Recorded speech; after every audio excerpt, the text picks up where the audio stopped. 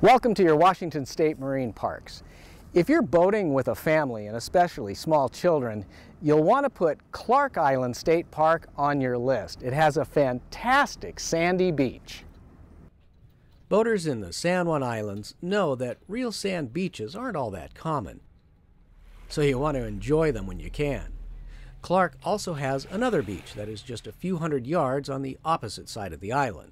That beach is comprised of smooth pea gravel.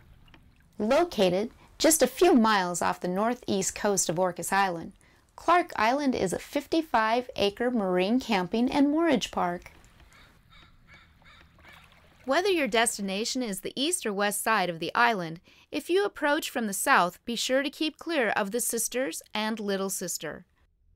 As a national wildlife refuge, boaters are required to keep 200 yards away from these rocks. This boat got a little too close. Also be aware of the reefs at the southern end of each side.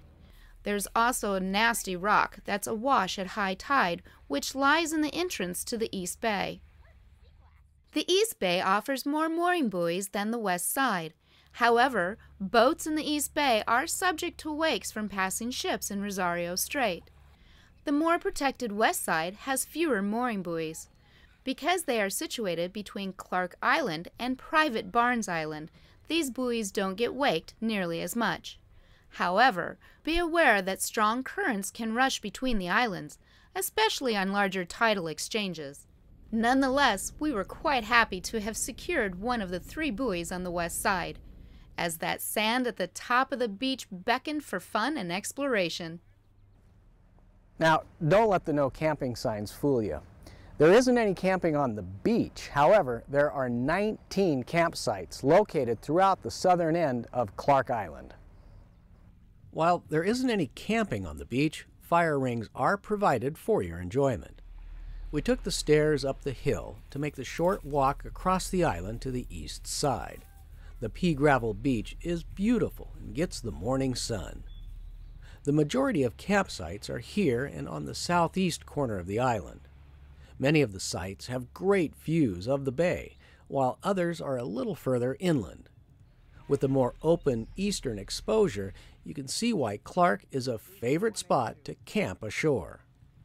This is also where you'll find the State Park Pay Station, even though we have a Washington State Parks annual moorage permit, we always register our boat as required. The trail at the southeast end of the island is absolutely wonderful, providing a variety of views and terrain. It's the best vantage point to spot wildlife on the Sisters. And you can enjoy a walk in the shade of tall fir trees. This end of the island is where you'll find a composting restroom. There's another place to register and a beautiful private little cove. Groups can make reservations for the group camp area located just off the main trail between the two sides of the island. Back on the west side, we took note of another popular Washington State Park within view, Moran State Park at the top of Mount Constitution, the view from which is simply breathtaking. For more information on Clark Island State Park, visit the Washington State Parks website at parks.wa.gov.